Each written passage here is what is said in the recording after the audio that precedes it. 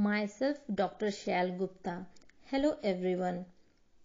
Let's discuss the eruption and shedding sequence of upper teeth and lower teeth of primary dentition as well as the upper teeth and lower teeth eruption and shedding sequence of permanent dentition. Father of modern dentistry, Pierre Fauchard, 1678 to March 22, 1761. Primary dentition.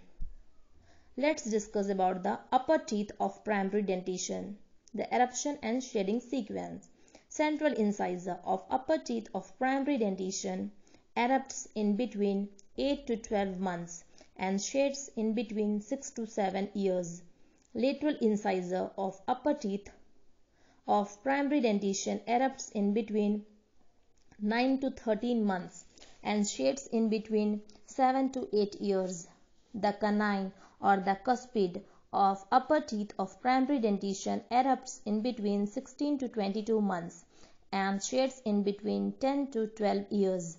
The first molar of upper teeth of primary dentition erupts in between 13 to 19 months and shades in between 9 to 11 years.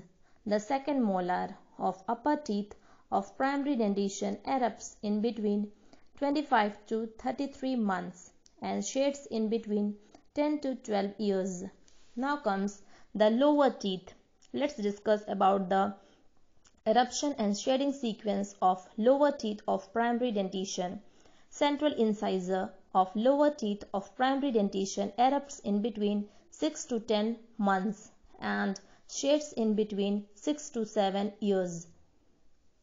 The lateral incisor of lower teeth of primary dentition erupts in between 10 to 16 months and shades in between 7 to 8 years. The canine or the cuspid of lower teeth of primary dentition erupts in between 17 to 23 months and shades in between 9 to 12 years. The first molar of lower teeth of primary dentition erupts in between 14 to 18 months and shades in between 9 to 11 years.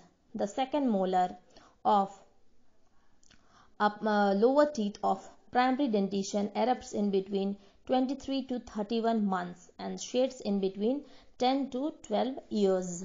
Now let's discuss the eruption sequence of lower teeth of permanent dentition and the eruption sequence of lower teeth of permanent dentition. The permanent dentition. Uh, the central incisor of upper teeth of permanent dentition erupts in between 7 to 8 years. The lateral incisor of upper teeth of permanent dentition erupts in between 8 to 9 years. The canine or the cuspid of upper teeth of permanent dentition erupts in between 11 to 12 years. The first premolar or the first bicuspid of upper teeth of permanent dentition erupts in between 10 to 11 years. The second premolar, second bicuspid of upper teeth of permanent dentition erupts in between 10 to 12 years.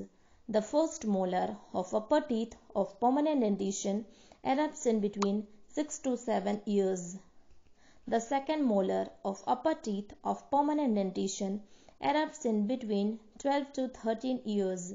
The third molar or the wisdom tooth of upper teeth of permanent dentition erupts in between 17 to 21 years. Now let's discuss about the lower teeth of permanent dentition eruption sequence. The central incisor of lower teeth of permanent dentition erupts in between 6 to 7 years.